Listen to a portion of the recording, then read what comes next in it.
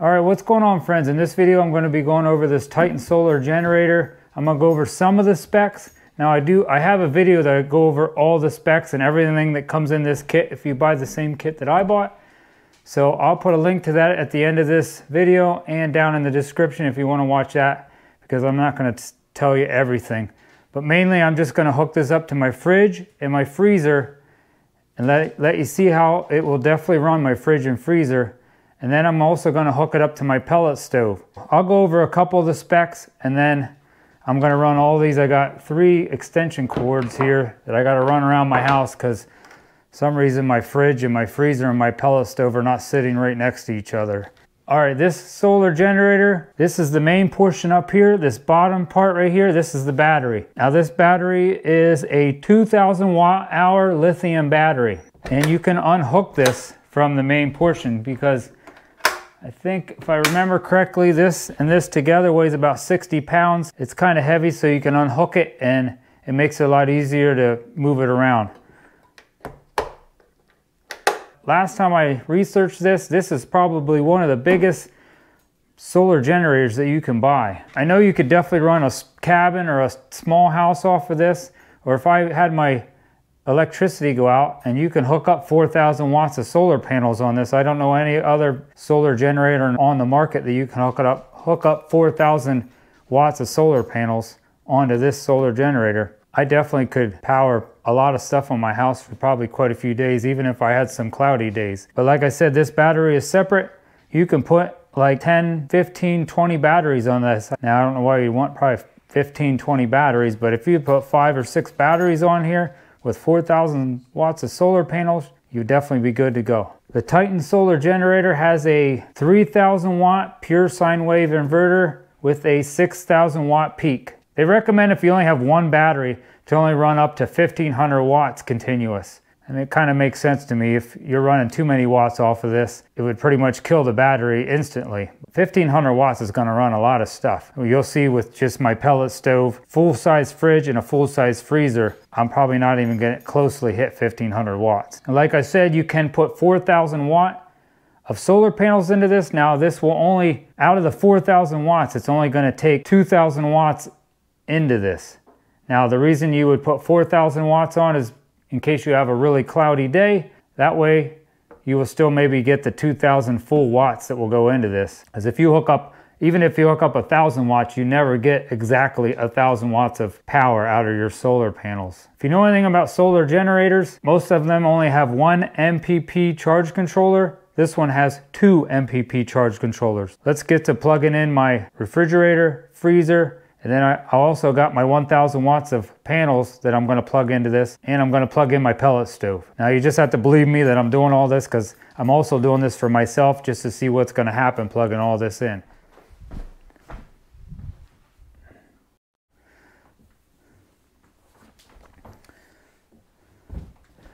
All right, I got my fridge pulled out because for me to unplug it, I have to pull it all the way out. I'm going to just unplug it and plug this one in and then plug it back in if I can reach. Uh, uh. All right, that. So you can see, like I said, you're just gonna have to believe me. That's plugged into there.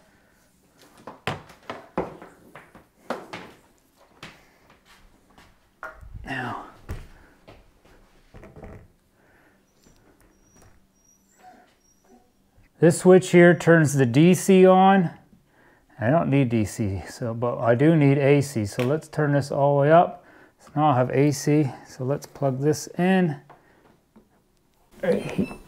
Oh, back on. Did you hear the beeps? I think if I remember correctly, this is showing how many watts going out. It's only 25 watts. Huh. I thought my fridge, these arrows are pointing down, so I know that means that it's pulling, um, pulling some power out of my battery. All right, let's go plug in my freezer. I gotta do some fang dangling. So, fang dangling, I gotta put this down through this hole. Better put something over it. I gotta put this, this chair over it.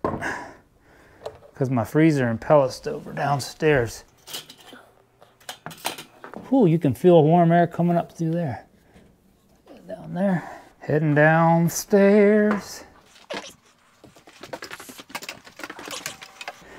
The pain in the butt. I hope you enjoy this video. but at least I'll know what'll happen. I gotta get this over to my pellet stove, I think. All right, I got enough. I'm gonna plug that in last. All right, let me get this freezer unplugged and plugged back in. We'll open this up. I, I guess I didn't do this with the fridge, but like I said, you just gotta believe me.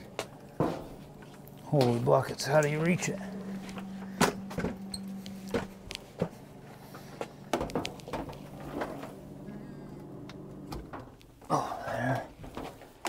Plug it back in.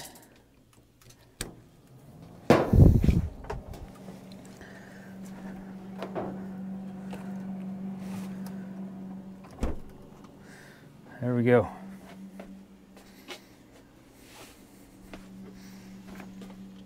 I'm gonna plug this pellet stove and plug it in real quick.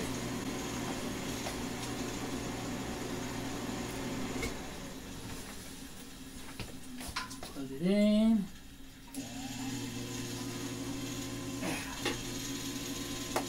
We go. We'll go upstairs. I still have my uh, fridge plugged in.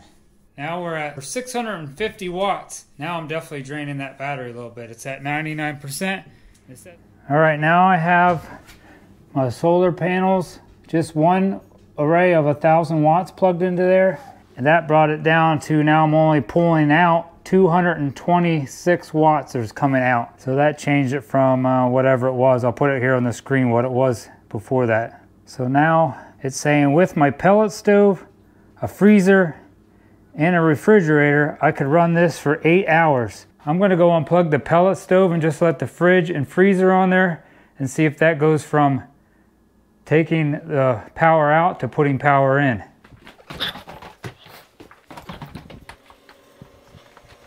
Unplug this, plug it back in.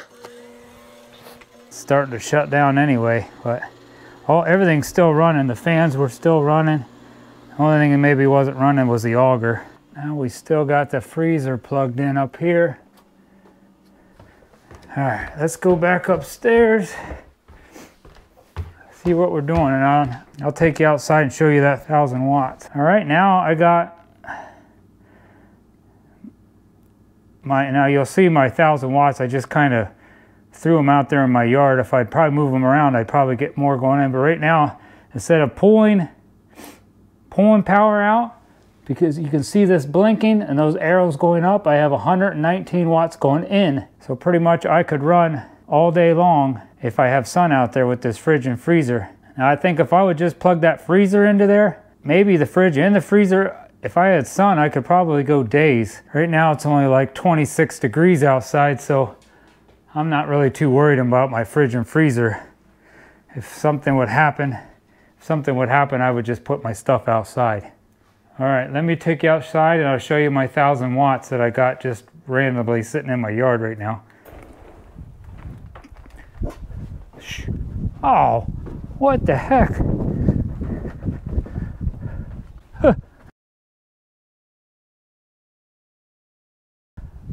Here's one 500 watt, and here's my other 500 watt. Yeah, see there, that one over there is getting shaded, and that one's slowly getting some shade. So that ain't helping me, but I kind of have a big tree in my way over here.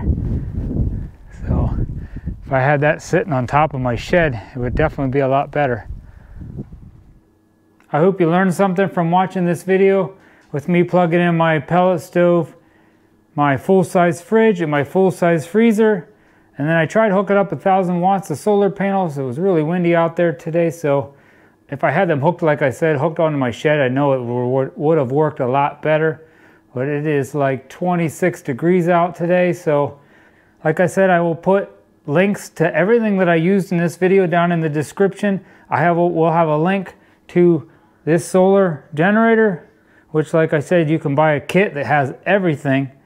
And that's probably definitely the easiest way to go, just to buy that kit that has everything. You can buy it with no solar panels, 500 watts of solar panels, 1,000 watts, 1,500 watts, and it just kind of goes in 500 watt increments. If you have any questions, put that down in the comments also. Give this video a thumbs up. Hit that subscribe button to help support my channel. God bless and have a great day.